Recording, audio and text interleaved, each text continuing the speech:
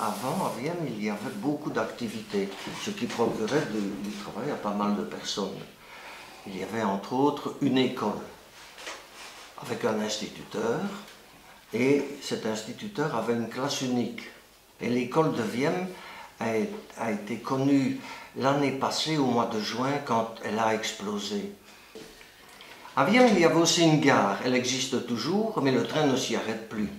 Mais la gare donnait du travail au chef de gare, parce que nous avons eu un chef de gare, jusque dans les années euh, 60 un peu, approximativement.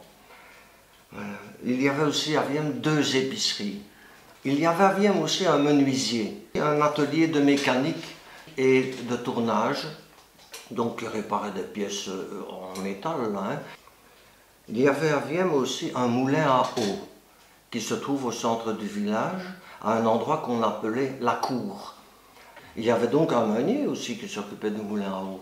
Il y avait une déviation du îlot qu'on appelait le bief, le bief du moulin qui alimentait un étang qui était le réservoir d'eau. Quand le, moulin, le meunier voulait moudre son grain, il ouvrait une vanne et l'eau descendait sur la roue, faisait tourner tout, tout, le moulin, fonctionnait tout le moulin. Ce moulin existe toujours, mais la roue ne tourne plus depuis très longtemps, bien sûr.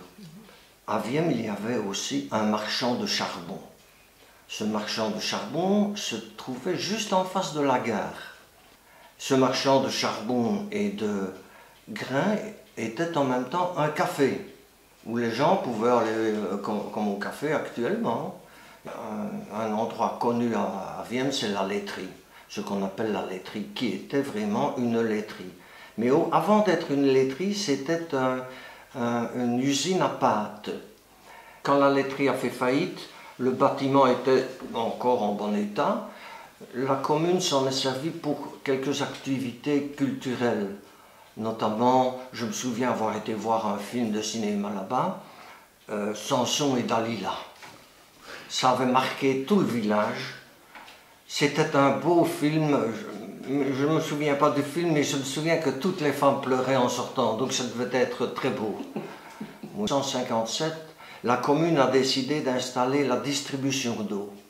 Avant, il n'y avait pas de distribution d'eau, pas de robinet dans les maisons, ça n'existait pas. On était, on était obligé d'aller chercher l'eau à La Fontaine.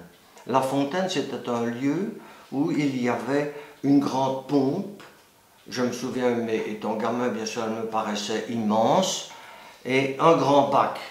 En plus, en 1959, deux ans après la distribution d'eau, on a construit des routes en béton. Et si vous passez à Vienne, vous verrez que ces routes en béton existent toujours, qu'il ne leur manque absolument rien. Et ces routes ont été construites en 1959, donc elles ont pas loin de 60 ans. Et elles sont toujours impeccables. Nos autorités devraient venir voir comment on construisait des routes précédemment pour en construire à ad vitam aeternam. Elles ne bougeront jamais, ces routes. Elles ne changeront jamais.